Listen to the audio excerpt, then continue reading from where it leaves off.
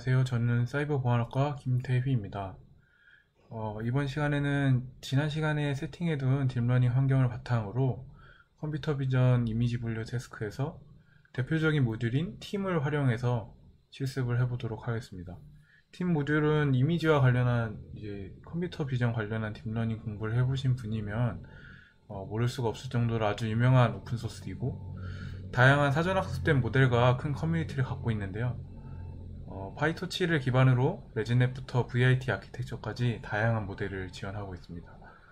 어, 이번 실습에서는 어, 한 모델에 대해서 여러 하라, hyper parameter를 알아보고 이 하라미, hyper parameter 설정을 shell script로 만들어서 여러 실험을 자동화할 수 있는 방법 그리고 이 과정에서 SSH 세션이 끊기는 경우가 많은데 어, 끊기지 않도록 screen이라는 명령어를 사용해서 딥러닝 학습의 util성을 보다 향상할 수 있도록 하는 방법에 대해서 배워보도록 하겠습니다.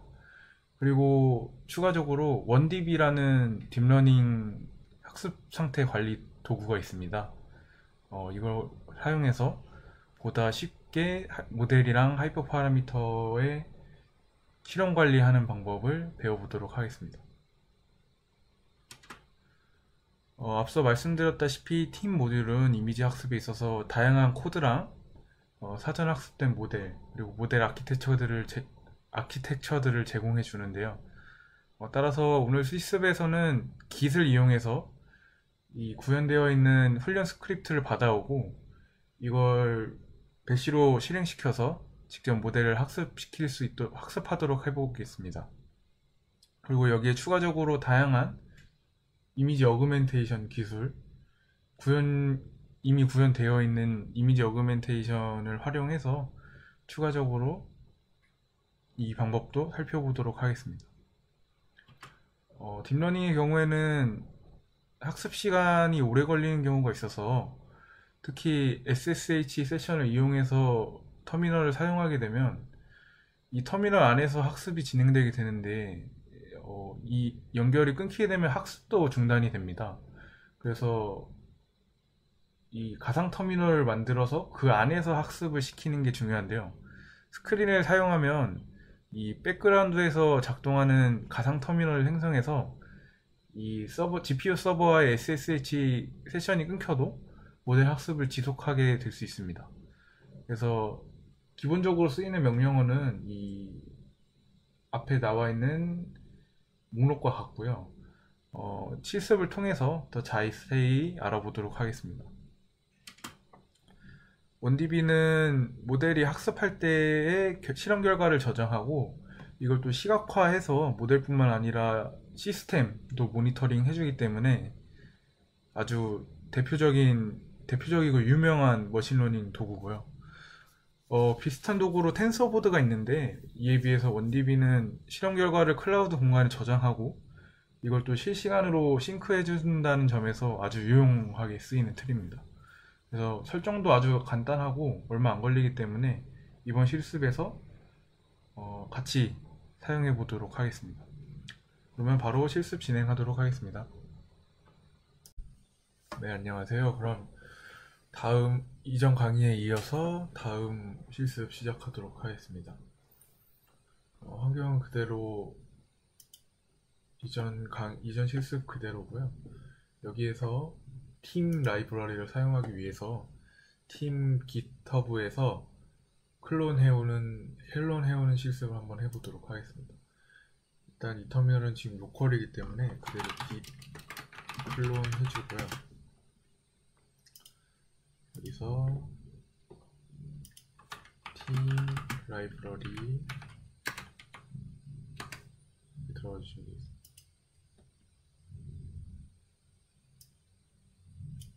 이게 timm 공식 GitHub고요. 여기에서 이걸 카피해서 그대로 clone 해주겠습니다.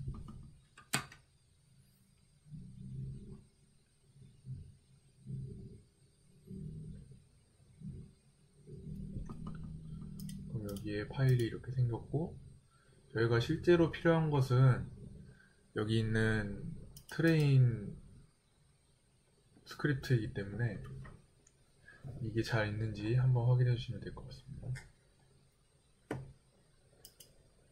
그 다음으로 이 파일을 서버에 배포해 주겠습니다.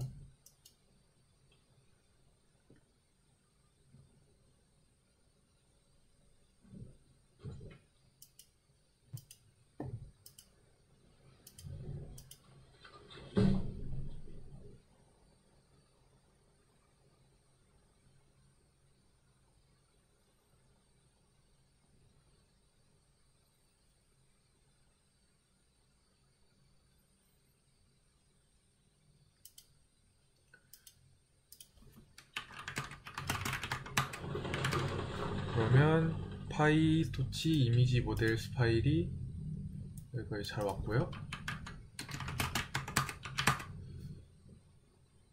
네, 여기 train.py 파일이 있는 것을 확인할 그러면 이 여기에서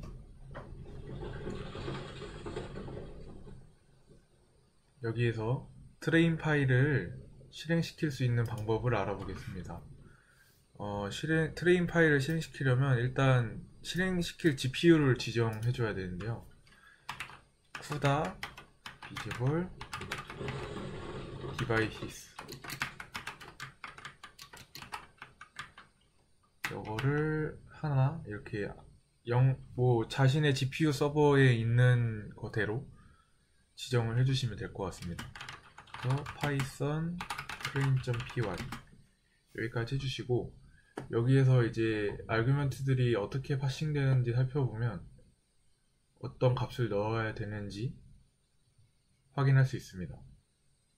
보면 데이터를 이, 요, 요 데이터, 여기에 데이터를 넣는 거는 deprecated 됐고, 이 방식으로 여기에 있는 directory로 넣어주면 됩니다. 그래서 데이터, 데이터 directory는 그렇지. 저희는 이번 실습에서 CIFAR 100을 이용 한번, 한번 이용해 보도록 하겠습니다.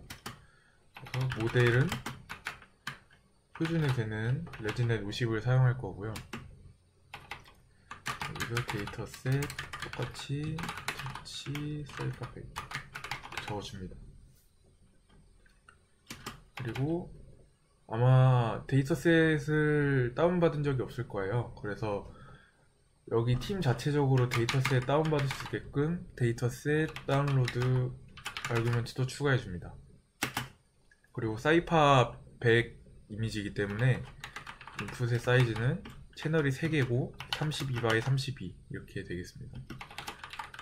클래스 개수는 100 이고요. 이 잡을 설정하는 것도 중요한데 잠시만요.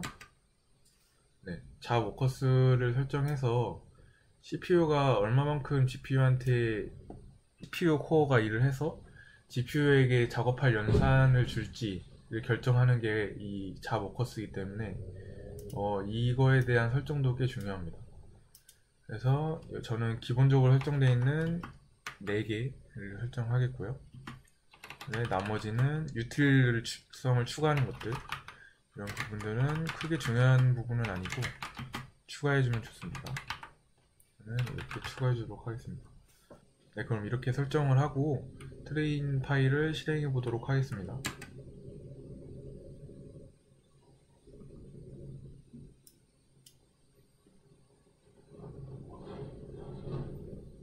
데이터 파이 CIFAR백 데이터 파일을 다운로드 받는 모습이고요.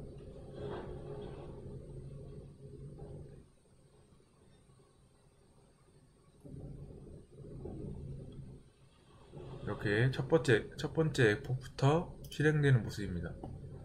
그래서 지금은 뭐 여기에 설정되어 있는 F, 기본 F 값이 300으로 되어 있기 때문에 300 F를 수행하고 있는 것 같고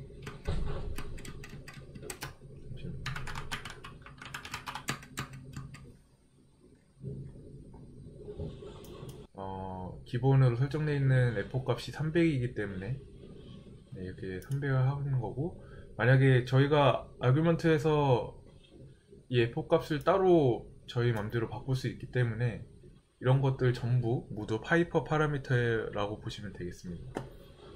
그래서 이대로 쭉 300F까지 가면서 학습이 진행되는 거고요.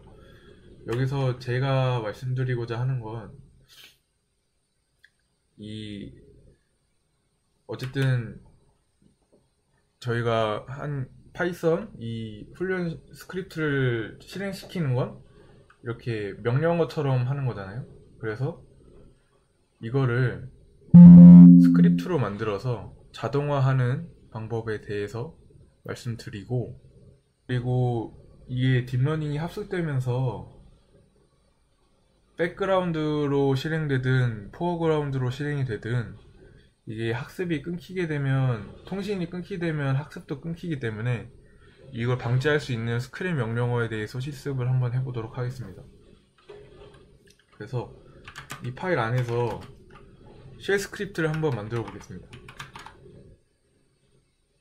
아, 그 전에 이 명령어를 한번 복사를 해주고요.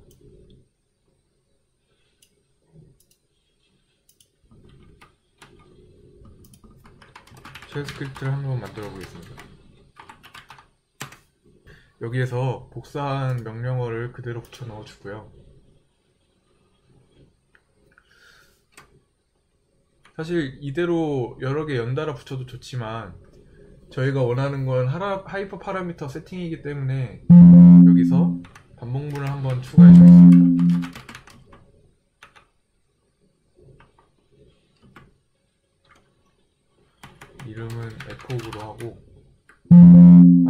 아까 봤듯이 100, 200으로 해놓고요.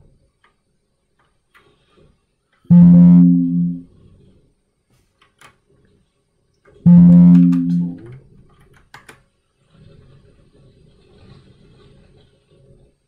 그래서 이 값에 fx에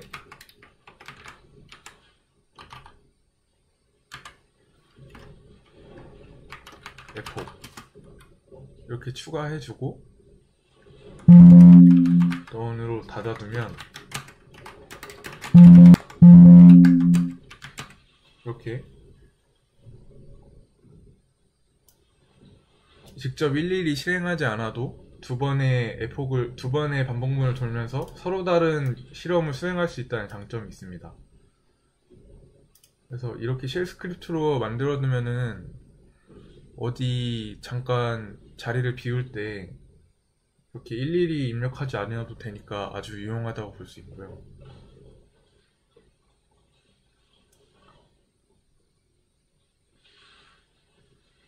그리고 스크린 명령어에 대해서 잠시 설명을 드리자면 이렇게 스크린 하면은 이렇게 있습니다. 이건 예전에 제가 만들었던 스크린이라서 있는 거고 스크린을 한번 만들어 보도록 하겠습니다. 이름은 openSW 이렇게 하면은 openSW라는 이름의 새로운 세션이 만들어지게 되는 거예요. 그럼 새로운 터미널이 열립니다. 그래서 여기에서 소스 run.sh 이걸 이렇게 하면은 그대로 실행이 되겠죠?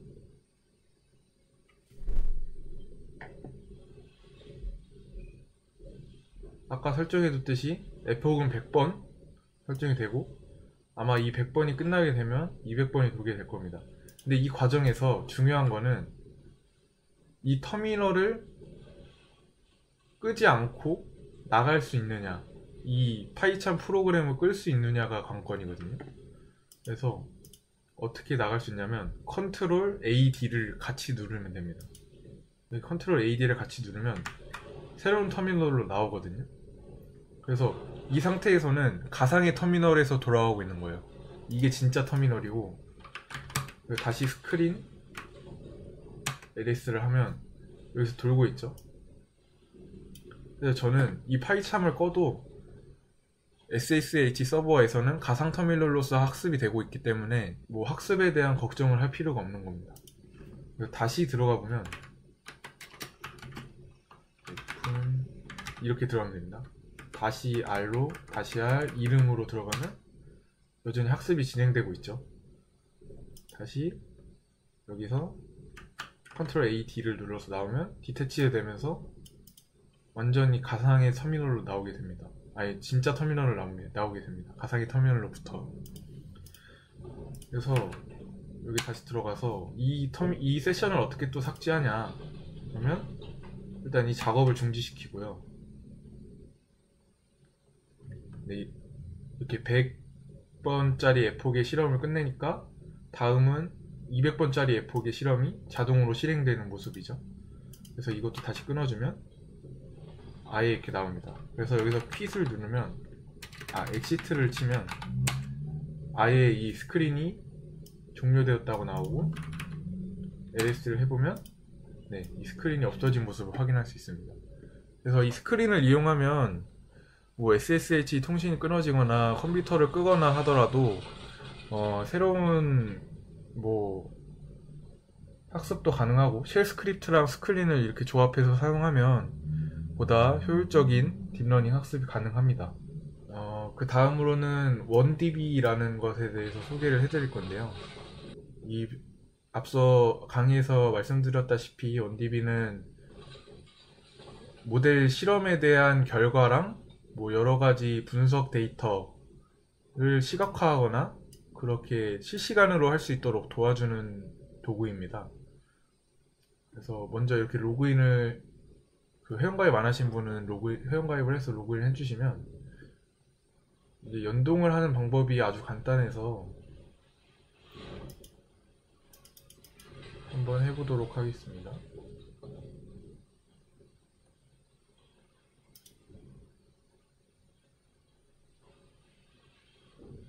그래서 create 이렇게 wandb에 들어오셨으면 프로젝트로 가셔서 새로운 프로젝트를 하나 만들어줍니다.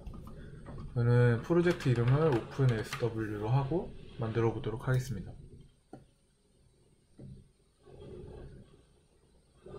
그리고 여기 있는 방법대로 따라해 주시면 되는데요. 일단 wandb가 안 깔려 있으신 분은 wandb install 여기서 해주시면 되겠습니다.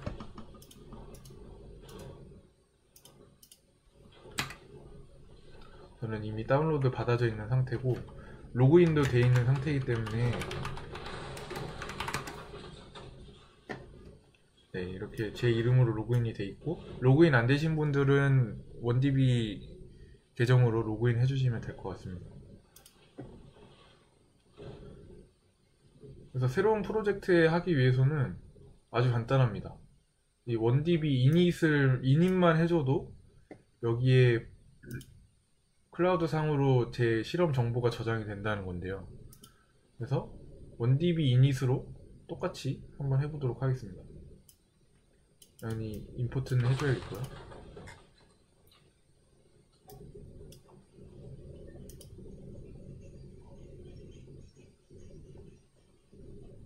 아 원DB가 임포트 돼 있네요.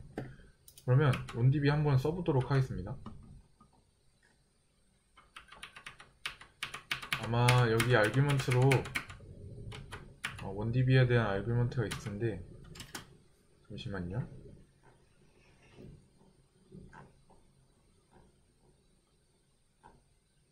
네, 로그 원DB 이 알규먼트를 써서 활성화해 주면 됩니다. 단순히 로그인 한 다음에 이것만 써주시면 됩니다.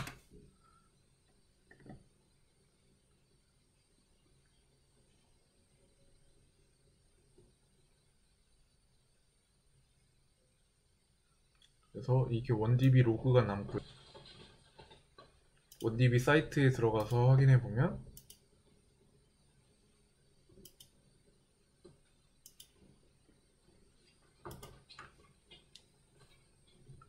여기에서 이 실행 결과에 대한 로그가 그대로 남고 있죠. 300짜리 폭 그대로 남고 있는 모습을 확인할 수 있습니다. 그래서 여기까지 실험과 원DB 연동하는 방법에 대해서 다뤄봤고요. 어, 다음 실습에서는 여러 가지 GPU를 사용하는 DDP 환경 구축에 대해서 다뤄보겠습니다.